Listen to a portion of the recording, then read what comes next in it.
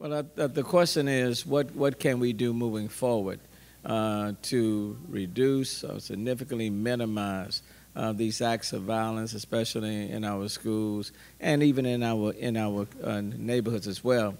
And what I've said is that we should not wait for a perfect solution before we move forward. We need to make sure that our schools are as safe as our airports and our government government buildings. Um, that's number one. Uh, whether we're dealing with um, uh, reasonable, pragmatic um, uh, gun laws, you know, uh, whether we are talking about background checks, and the, the overwhelming percentage of people in this country are in favor of some form of background checks, whether we're talking about the elimination of bump stocks, limiting the capacity of magazines. Um, I've also talked about like metal detectors. One thing I do know is that when you come and visit me at City Hall, you just cannot walk into City Hall and, and, and, and go up on any floor. Uh, so we have to find a number of things that we put in place uh, like yesterday that can minimize the risk of gun violence in our schools and in our, in our neighborhoods. But to do nothing, uh, as we have done, is proven to be a flawed and deadly strategy and I'm all for prayer uh, and condolences. Uh, and to the families that have been impacted, for example, in Santa Fe, and all of the other school shootings, to those families, I extend to them my condolences and my prayers. Um, and as we say my church, the fervent prayers of the righteous availeth much. But after you finish praying, you got to get up off your knees and you have to act. You know, to pray without actions is not going to carry you very, very far.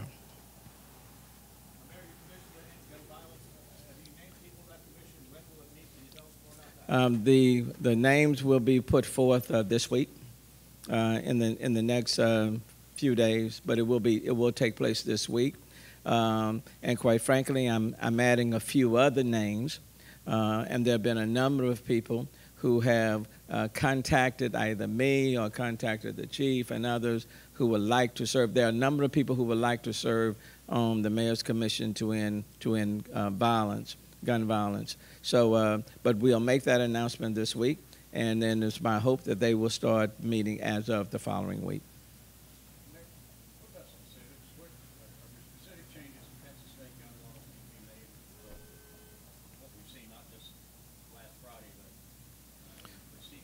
Well, you know, I, I do think uh, on the state and on national level, um, background checks is something that we need to be doing. You know, um, uh, ending bump stocks is something that we, we can do. Limiting, limiting the capacity of, of, magazines is something we can do. Providing and appropriating more dollars for security measures at our schools. We just can't rely on the, lo- the local school districts already tapped out. So you can provide more dollars. And quite frankly, uh, what I would prefer uh, is to, instead of us just having conversations or town hall meetings, uh, convene the legislatures all over this country now. I know when I, I spent 20, 25 years in the legislature, uh, and I've participated in many special sessions that took place outside of the regular session. Instead of us just having these conversations uh, out in the general public, because what happened at Santa Fe was not the first school shootings. They've been happening quite a bit over the last 20 years and nearly 139, 140 lives have been lost over that time period. But now is the time to be debating these measures uh, in the halls of Congress or in our legislators, legislatures all over the country and providing additional revenue, additional funding, so that when schools start in the fall, they are more secure and our kids have the confidence uh, are comfortable with going to school, focusing on their classwork, rather than having to be fearful of their safety.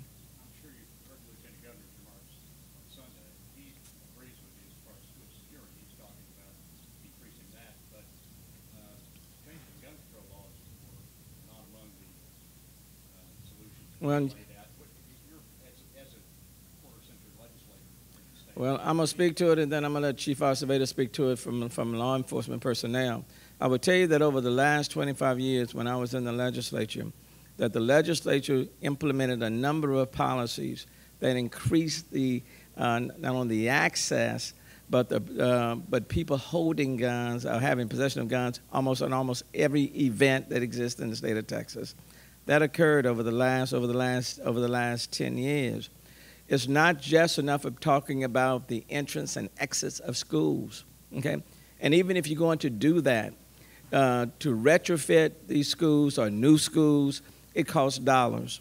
Okay, so you need to provide local school districts with added resources and I've yet to hear uh, that there's a willingness to provide additional resources so that these schools can be protected.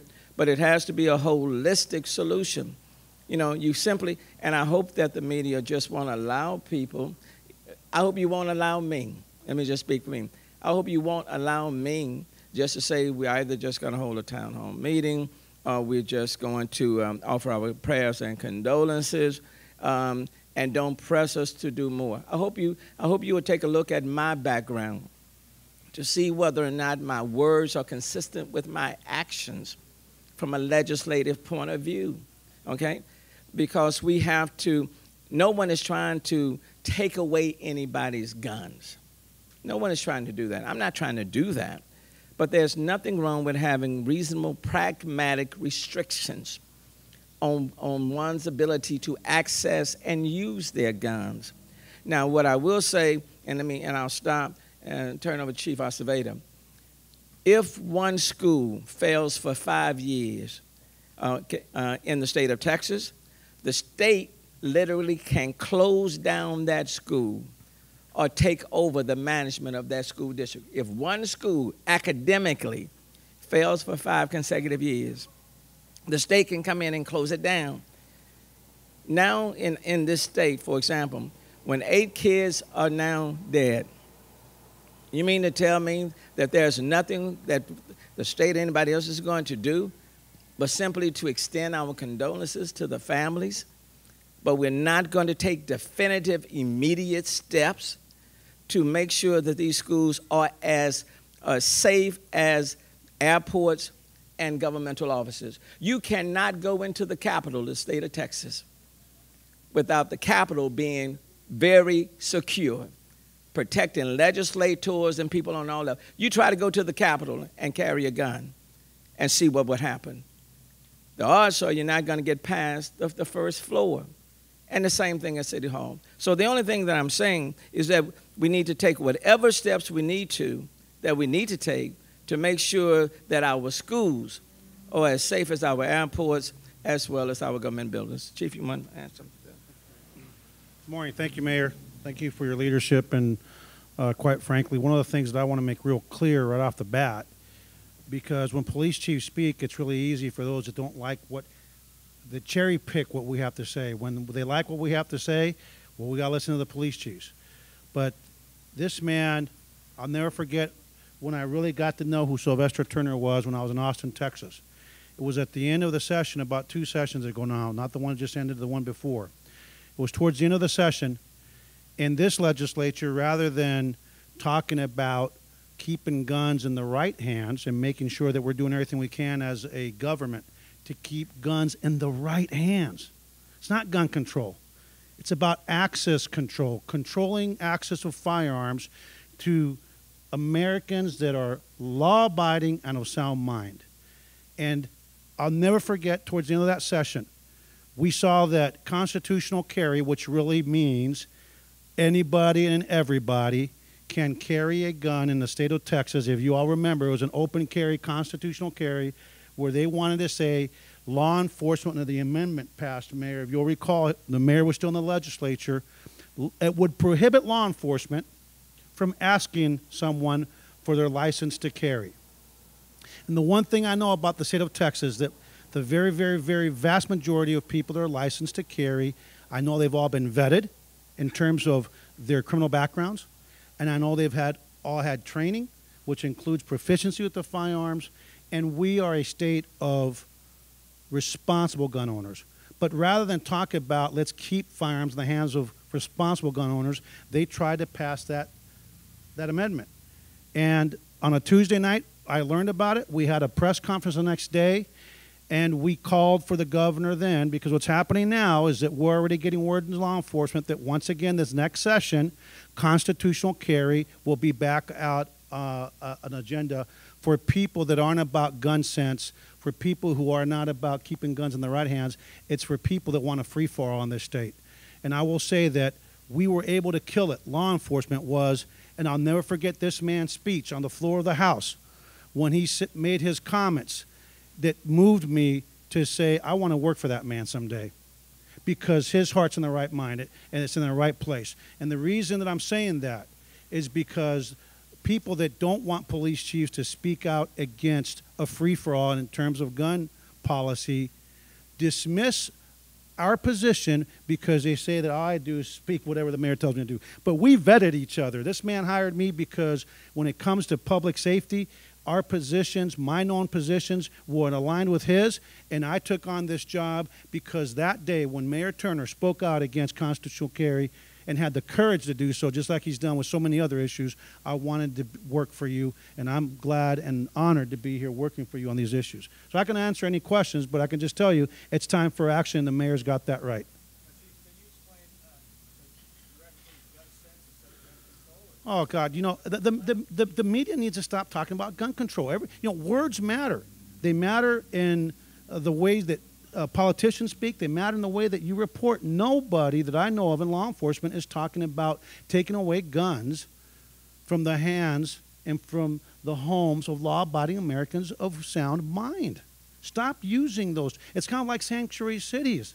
We use these terms because we want to evoke an emotion at the extremes of both uh, both ends of the spectrum. We're talking about what can we do. And by the way, I've had since my Facebook rant, uh, I've had very many people come up to me on the streets. They're, this this is a narrative. I'm a third generation Texan. I'm a gun owner. I'm a I'm I'm a hunter, and I'm a member of the NRA. As so are my grown sons, and we're with you. This is not a zero sum proposition, and we need to be pragmatic and get it done. Yes. Go on. I'm.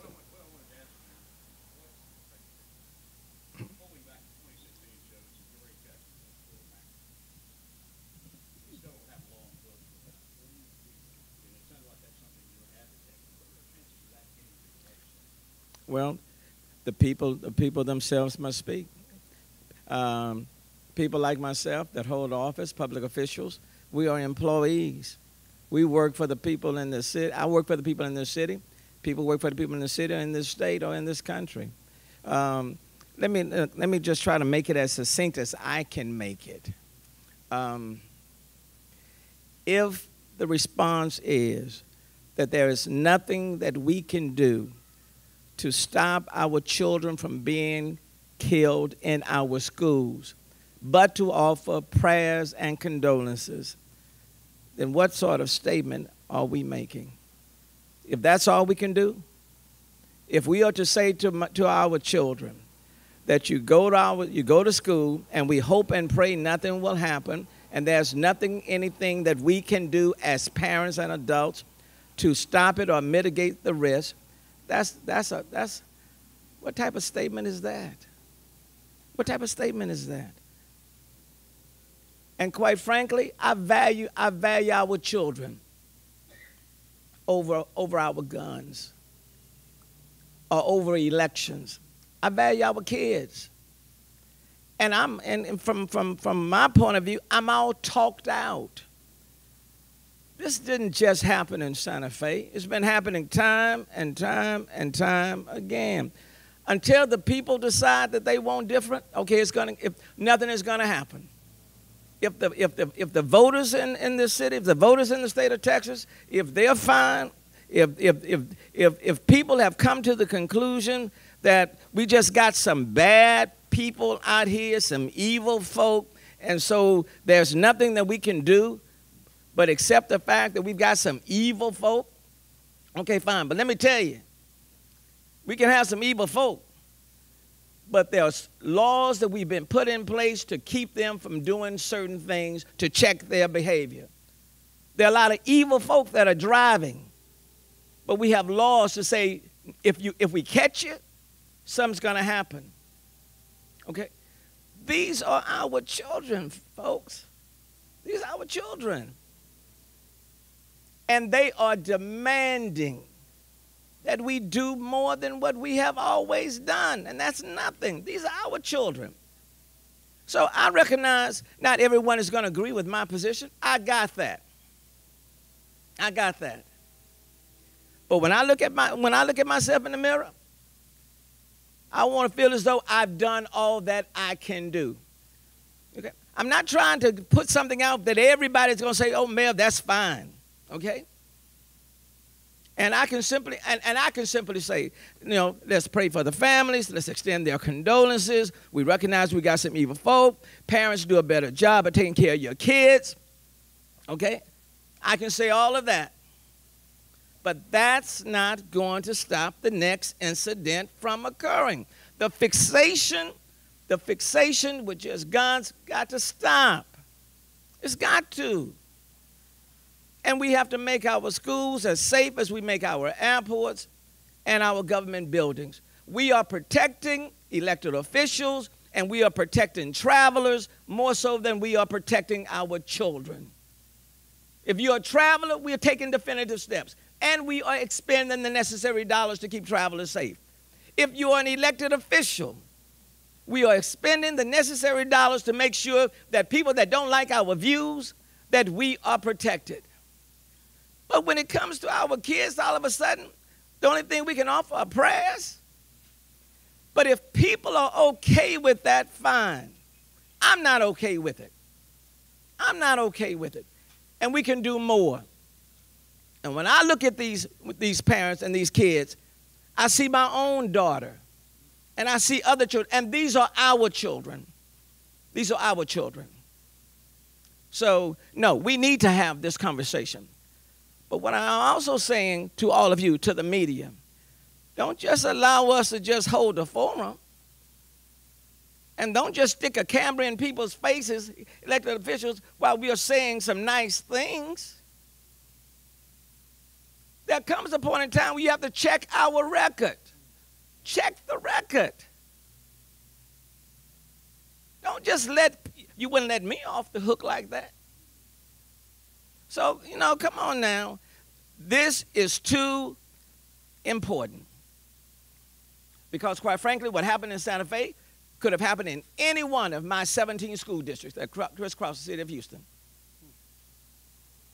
And we need to do, we, we, we need to do more. We must do more. When the public demands more, then I think it's going to happen.